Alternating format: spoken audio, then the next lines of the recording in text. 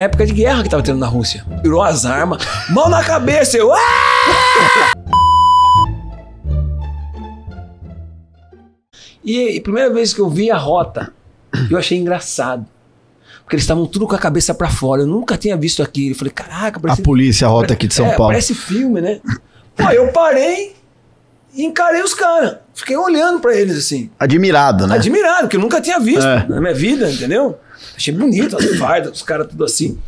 Porque tinha até uma comunidade aqui, aqui embaixo da ponte, né? Tem a comunidade ali. E quando a gente passou ali, a rota veio com tudo, jogou o carro em cima de mim, tirou as armas, mão na cabeça, eu. "Ah!" Ah! Comecei a gritar, os caras ficaram assustados. Pô, neguinho, que você tá olhando pra gente aí? Eu falei, não, porque eu sou de Capivari e tal, tal. O que você tá fazendo aqui? Eu, eu jogo no Palmeiras, tinha carteirinha, só que a carteirinha eu colocava aqui. Não bota a mão aí não, senão a gente vai tirar. Eu falei, não, tá bom, então, não vou tirar não. Aí eu falei, não, que eu, eu moro em Capivari, interior de São Caraca, Paulo, eu nunca vi isso, eu achei que era um filme, vocês estavam gravando aqui. E eu fiquei admirado. Achei que era um filme. Aí os caras falaram assim, então tá bom, então, anotou o nome, e minha perna ficava assim, ó.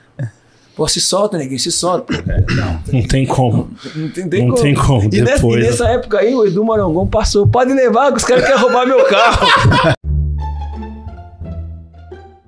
e aí, em 93, eu tava no meu quarto, né? Só que os caras queriam me batizar. Todo dia os caras queriam me pegar, porque antigamente o batismo não era você subir no palco e você cantar. O batismo era o Crebão dar um abraço no você, Tonhão abrir tua perna, o cara meteu o dedo com pasta na bunda, esse tá batizado, porra. Mano, era duro. Eu falei, esses caras não vão pegar eu, não. Essa história Quando é- os caras tentaram pegar, eu peguei um pedaço de pau. Falei, um eu pego. um eu acerto. Vocês podem me pegar, um acerta. É, você não aguenta essa brincadeira, mas não, essa brincadeira é não, pô. Passa Aqui, de- aqui só sai, aqui não entra, não. Aí, aí os caras me ligaram no meu quarto.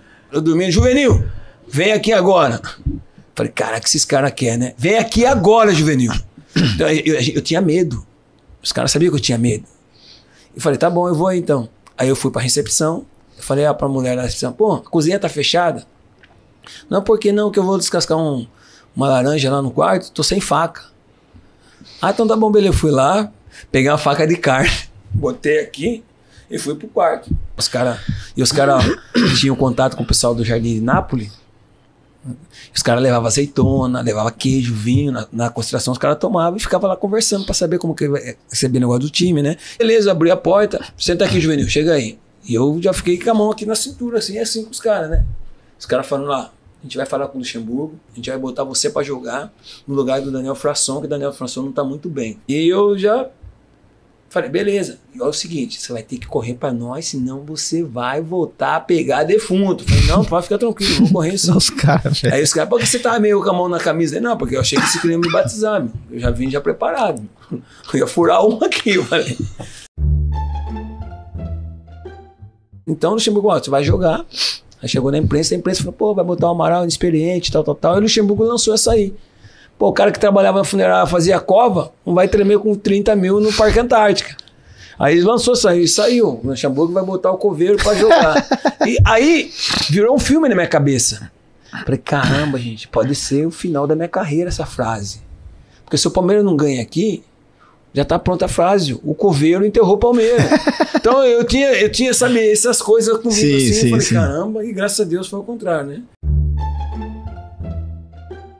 Teve até um jogo, teve até um jogo que a gente foi pra Rússia fazer uma excursão, doido, na, na Rússia.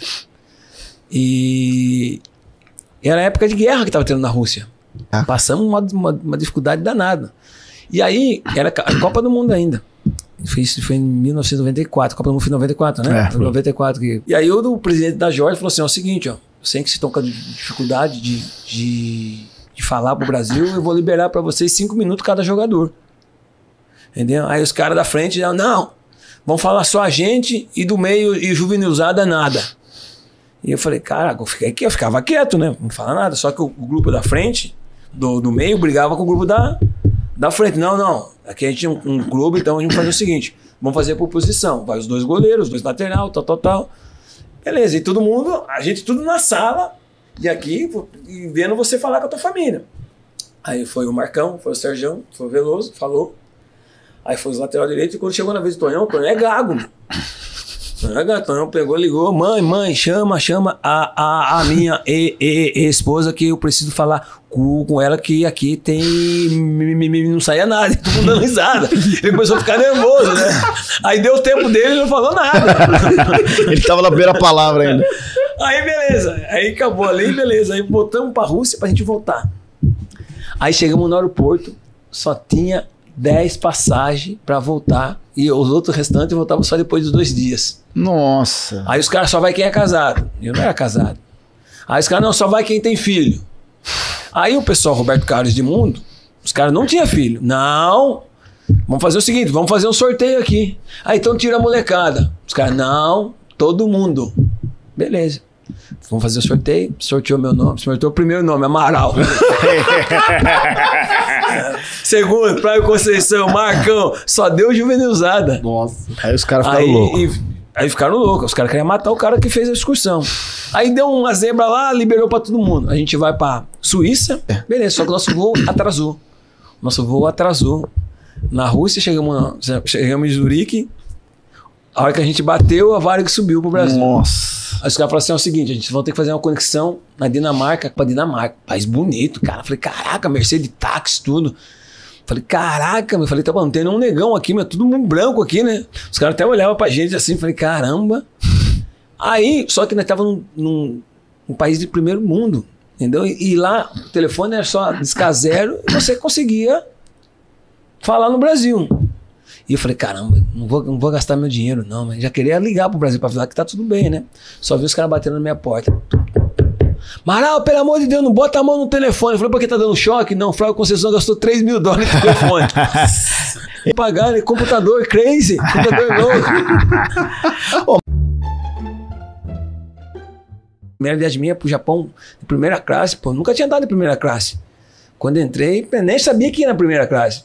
Já ia pra, já ia indo pro fundo, né? Eu vi os caras sentando, não, mano, a gente vai pra cá que hoje. Falei, nossa, que poltrona grande, meu.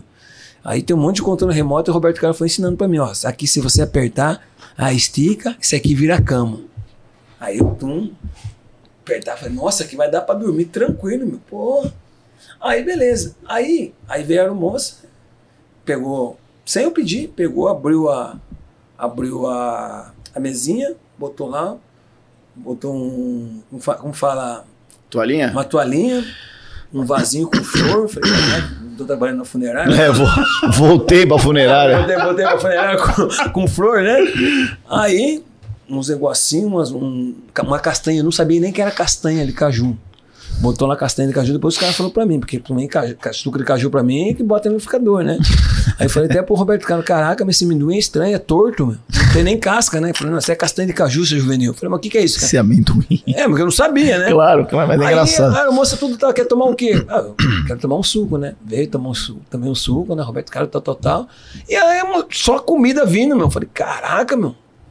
Deve ser caro pra caramba isso aqui, né? Falei, pô, Roberto Carlos, Roberto Carlos, falou, "Bem, sabe que isso aqui tem que pagar, né? Falei, pô, Palmeiras tá, tá em alta, né? Caprichou, não, isso aqui é individual. Falei, como individual? Cada um paga o teu. Falei, não, então paga pra mim. E aí, e falei, pô, não, não tem condição de pagar isso aqui não, pô, deve ser mó caro, então paga pra mim depois eu te dou. Você tá com o seu cartão de crédito aí? Falei, tô. Vai no final do, via no, avião que tem um caixa eletrônico lá, você tira o dinheiro, você paga. Ah, beleza, peguei o cartãozinho meu e fui. Só que eu não perguntei para o pessoal da econômica. Eu passei, os caras, pô, Amaral, beleza? Eu, pô, beleza. Não vou nem perguntar onde é o caixa aqui, os caras vão achar que eu tô quebrado. Eu tô lá na frente, eu tenho que estar aqui no fundão, né?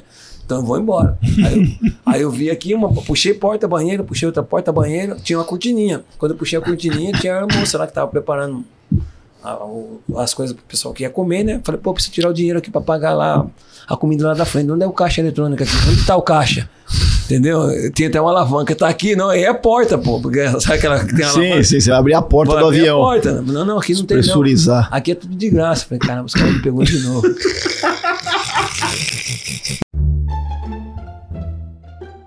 E aí, quando a gente foi jogar lá no, no Japão, né? O jogo pegou no fogo, Edmundo pegou a bola, driblou. O cara deu uma porrada no Edmundo, Edmundo ficou no chão. O juiz deu além da vantagem, que a bola tava no meu pé. Aí o cara vai me dar, me acerta também, um massagista. Amaral ou Edmundo? Edmundo. Aí o japonês, para ter um bom senso, chamou o massagista deles. E quando ele chegou perto de mim, começou a jogar água no meu olho. Eu, não, tornozelo! Eu, to- eu tornozelo, tornozelo. Aí Sampaio falou, não, é o olho dele assim mesmo, não machucou o tornozelo. Porque Sampaio falava japonês.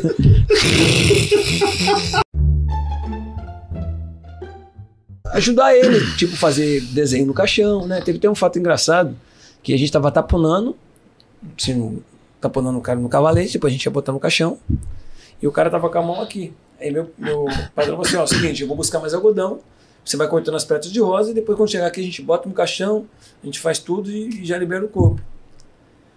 Aí caiu uma pétala de rosa no chão. Eu fui pegar e eu toquei no cavalete. Quando toquei no cavalete, a mão do- dele escorregou e deu nas minhas costas. Pum, pum. E eu olhei e falei, caraca, meu! Saí, fiquei lá fora. Parece esquete do- dos trapalhões, É, né, eu falei, velho? eu falei, ah, não vou entrar aí não. Aí o patrão falou, o que aconteceu? Eu falei, pô, eu peguei uma flor lá, o cara me deu um tapa, o cara tá morto, pô. Cara,